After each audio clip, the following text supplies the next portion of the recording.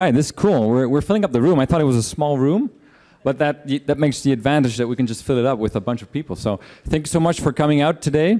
I really, really appreciate it. I'm super excited for today's presentation. And um, today we're just going to get started. This Bitcoin course will orange pill your mom. And if you're not already orange pill, then this course will get your mom interested in Bitcoin in non-jargon. Just one free Bitcoin course could prevent billions of people from becoming poor and oppressed including mom. In this keynote, I'm going to reveal what this new Bitcoin course is, why it works, and how it saves anyone hundreds of hours of research and years of savings. But first, who am I? And why do I care about spreading Bitcoin? My name is David da Silva Rosa. I'm the founder of My Bitcoin Academy, and we help individuals protect their wealth and freedom using Bitcoin, obviously.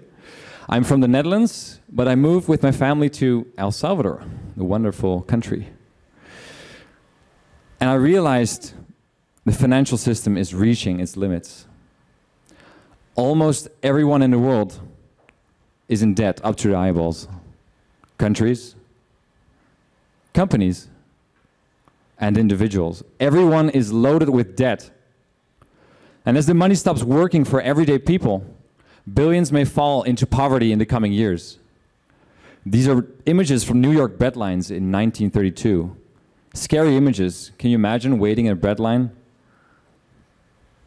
hoping to eat just a piece of bread tonight? Meanwhile, a global elite wants to replace the old failing system by the Great Reset. And if they win, it would radically transform our economic and social lives for the worse that is. More centralization, less democracy, corporate control, financial surveillance, socialism, technocracy, carbon taxes, the list goes on.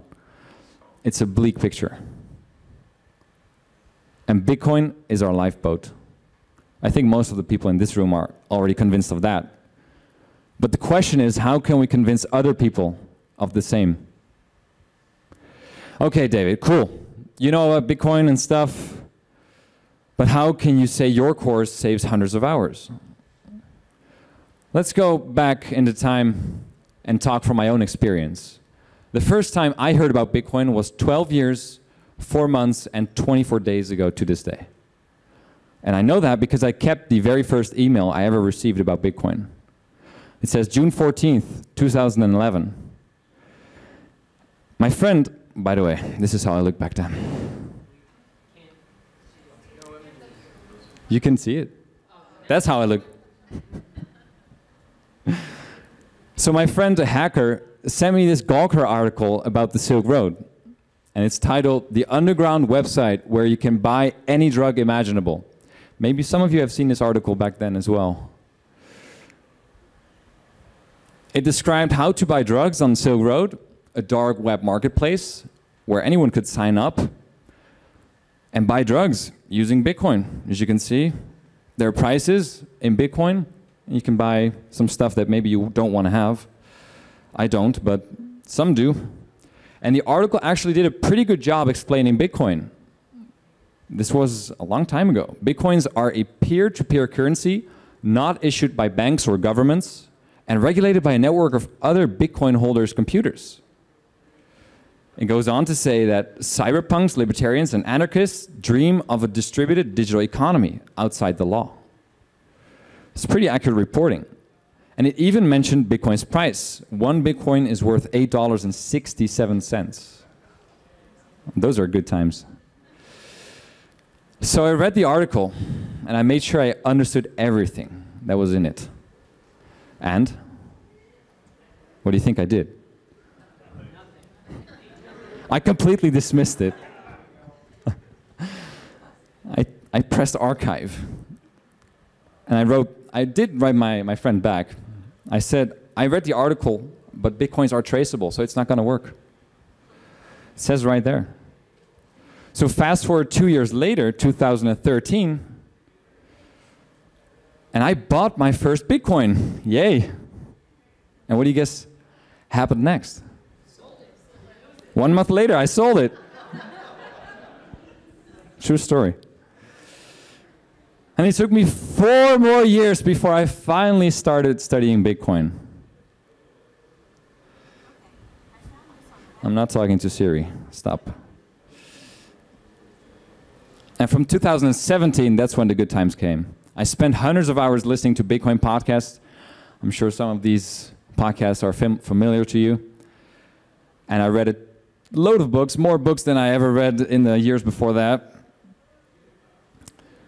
So now, how are we going to get millions, tens of millions, hundreds of millions, billions of people interested in Bitcoin? Should we promise them Lambos? I think they'll sell the bottom, just like I did. Doesn't work.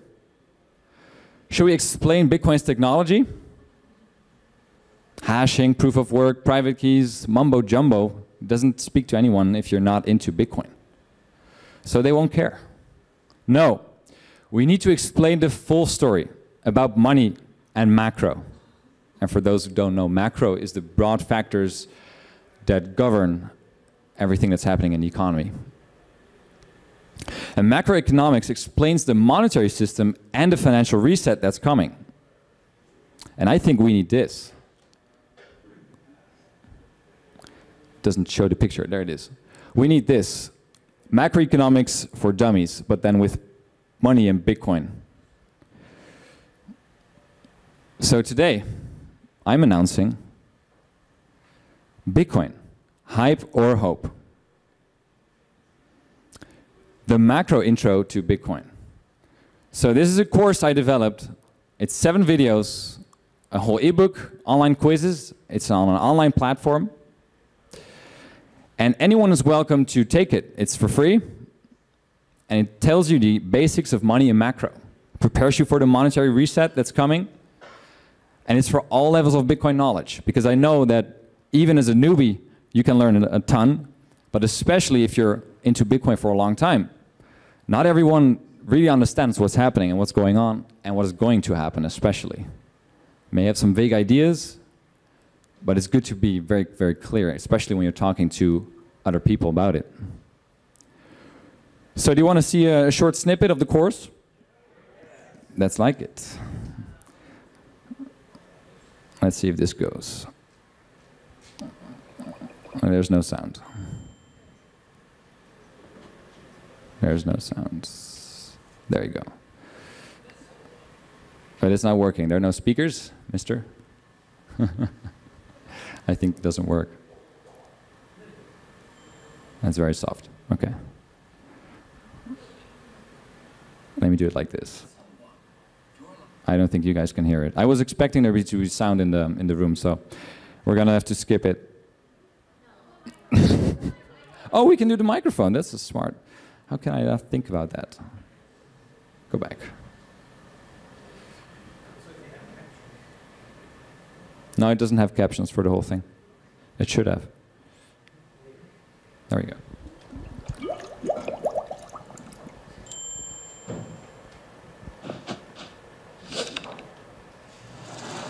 Lesson 1 Your Life in 2044. The year is 2044. The world's undergone a radical transformation in the past 20 years. You remember how sovereign states worldwide saw their currencies collapse one by one, crushed by untenable debt. By devaluing their currencies, governments desperately tried to stimulate their economies to become more attractive for trade and investment. Meanwhile, citizens were robbed of their purchasing power. In hindsight, each currency was guaranteed to get destroyed by the relentless competition between countries. Only the strongest one, the United States dollar, remained. But even the dollar failed at the end of this unstable period. And with the collapse of the reserve currency, the world finally had to move on to a new financial system. Bitcoin has been the dominant form of money for a few years now. The sudden paradigm shift that happened still amazes you today. You regularly think back to the fiat world that was left behind, a world where a small group of officials pretended to control the money supply, a world with soaring prices, the social unrest that followed, and finally the unraveling of the institutions. Just a sneak peek, but it gives an impression. So you can sign up for free on mybitcoin.academy slash course. And let's know now. Let's go through the through the course content. So we want to know what's inside. So first, money is credit. Inflation and wealth inequality are the signs that everyone can see around them. We see soaring prices. We see wealth inequality that's rising, obviously.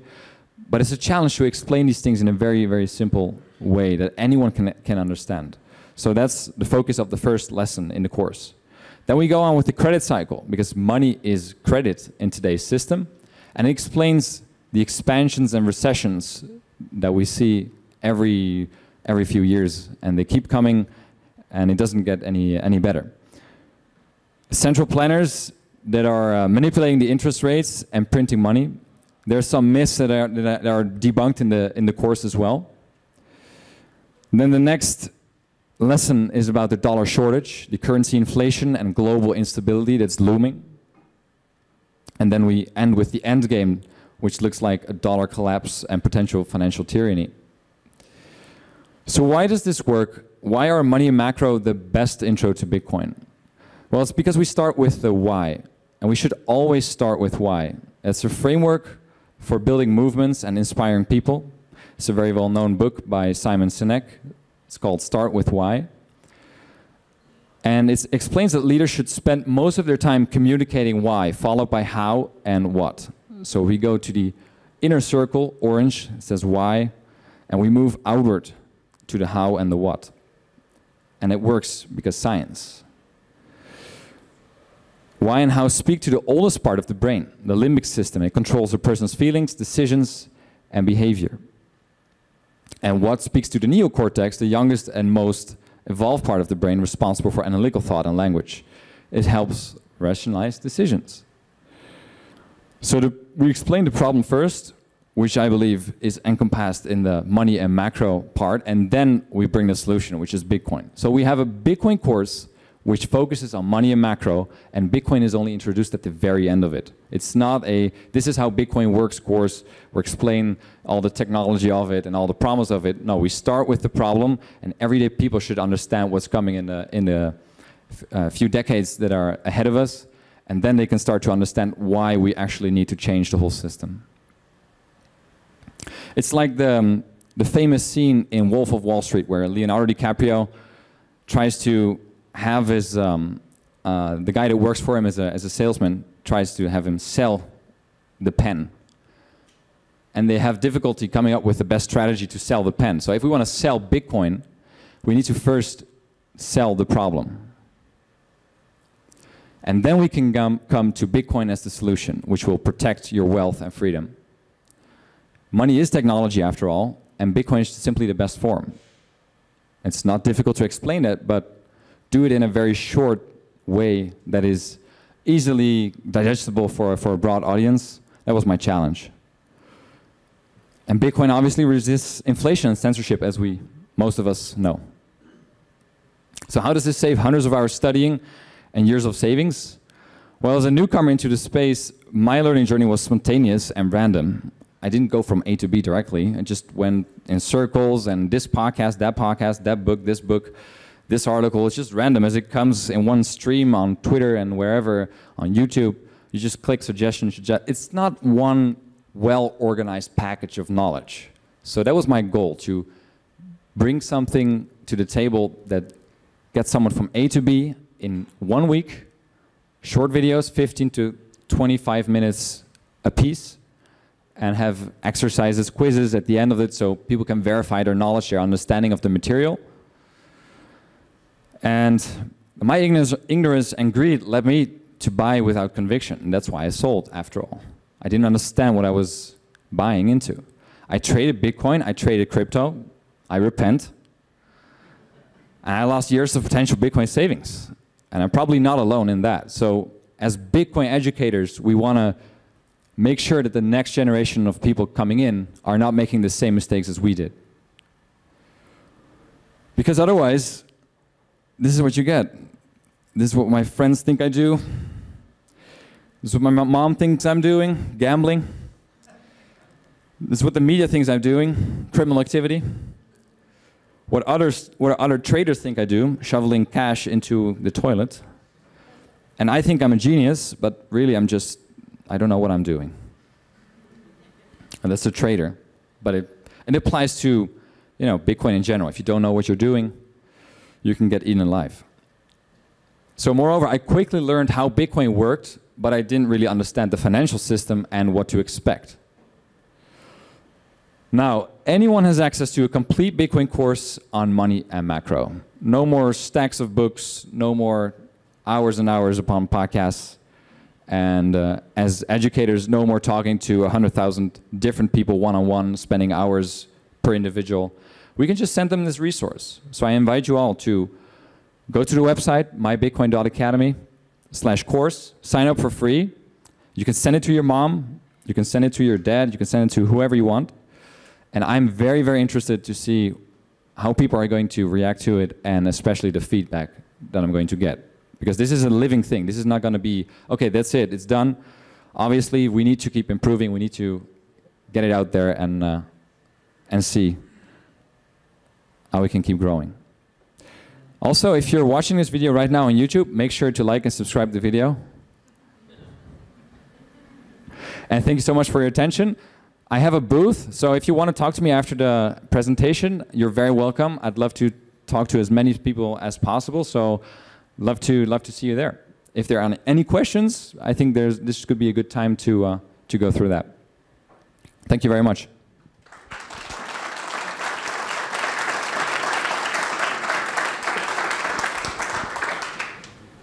I think we still got time, right? Perfect. In the back.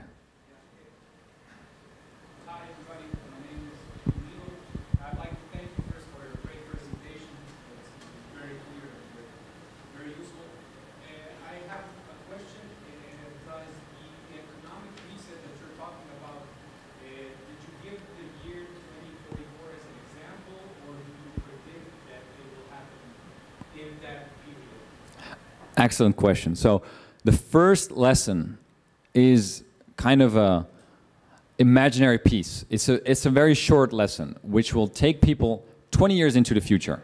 2044, I picked a date. And this is what it could look like. And the purpose of that lesson is to identify those who have resistance.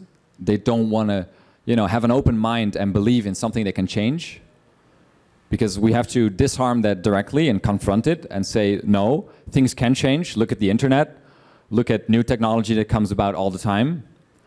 And um, it's also just to paint a picture for those that do have an open mind, hey, this is what it could look like as a teaser so they follow and, and continue into the course. So it's not definitely not a prediction, and the course makes it very clear that it's not but I thought it was a great way to uh, to get the spirits heated, heated up and, and ready for um, the more thorough part, which is on the economics and the money side. Yeah, thanks. Other questions? In the back, all the way in the back.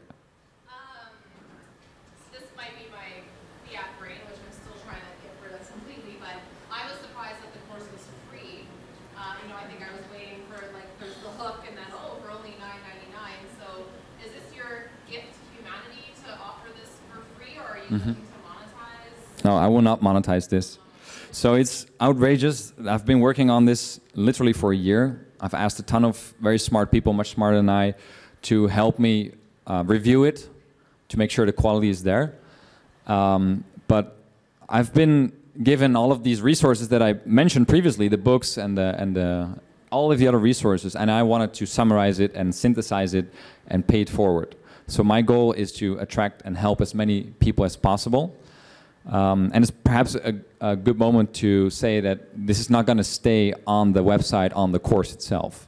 So my Bitcoin Academy, um, the, the video of this presentation is going to be the first video on the YouTube channel. And uh, soon, very soon, don't quote me, um, there are going to be very regular videos uh, on the topics that are included in the course to you know gra uh, grab attention from a, from a wide audience on, on YouTube, which I believe is the is the prime platform to be at. So the goal is to to attract more people, educate more people, and help more people. And how I'm gonna you know uh, live, I'll I'll see that after. But right now, it's not the priority.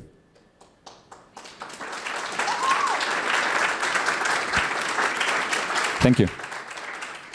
And the lady just before you had another question, I think. Yeah, you mentioned you didn't, you don't even introduce Bitcoin until the very end of the course. Does, do you at any point teach people how to actually buy it or? No. No. No, because that's the why. That's that you go. You get into the how and the what. And first, people need to be very motivated. And if they obviously that that could be you know a follow-up course of some sorts, or that could be something I can help personally with, or point to other resources. But I need to focus my attention first on what I think is lacking in the space. And so that's why I decided to do it like this. So Bitcoin is briefly mentioned at the beginning in that introductory 2044 uh, picture that I paint, and then at the very last lesson uh, to give people an idea of their Bitcoin potential and what would it change for their life if all of a sudden they would start saving in, in Bitcoin and using the, the Bitcoin uh, technology. Um, but those are f- steps that come after. So it's like, okay, now what? I'll have other resources to help people with that. Yeah. Do we have more time? Hmm?